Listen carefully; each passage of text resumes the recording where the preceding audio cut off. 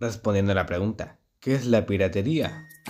La piratería es una práctica de sarqueo organizado o bandolerismo marítimo, por lo cual se ataca a una embarcación con el propósito de robar su carga, exigir rescate por los pasajeros o venderlos como esclavos y en ocasiones apoderarse de la misma nave.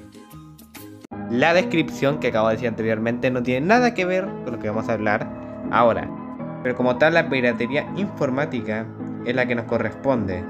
Y pues ha pasado piratería informática con un juego de mierda que es el que hice yo.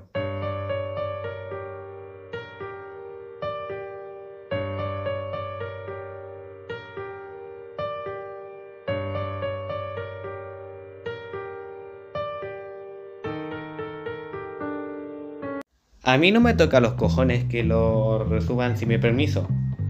A mí lo que me toca los super cojones es que lo suban y con virus.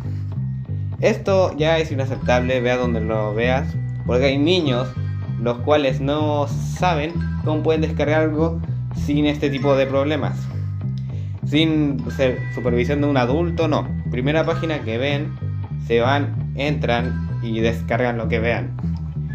Esto es horrible, ya que esto se aprovecha de la poca experiencia de menores de 18 años, como en este gráfico, van y descargan este tipo de cosas y se les joden los celulares, le quitan los permisos, acceden a sus datos personales y aquí es donde todo se va al carré.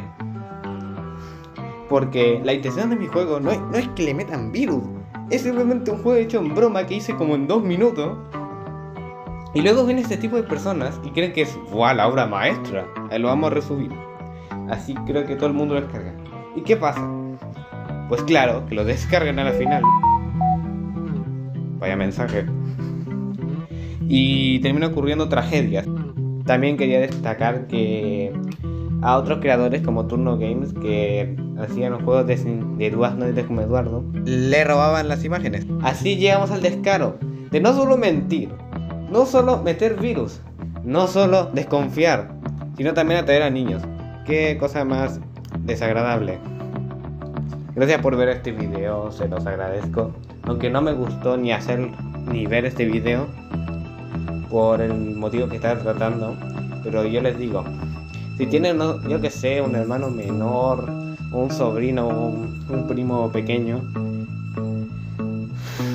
revise lo que hacen quizás en su página web o que están haciendo con sus celulares o tablets también. Que no entren en este tipo de páginas, por favor. Bueno, ya, me despido. Chao.